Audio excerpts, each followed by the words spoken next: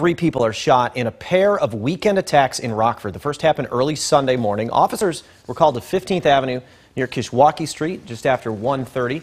Investigators are told two victims arrived at a local hospital. The 30 and 31-year-old men had both been shot. Those men are okay. Victims told police they were leaving a business when someone drove by and opened fire.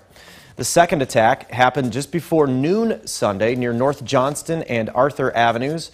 Officers found a man at the scene. He had been shot several times.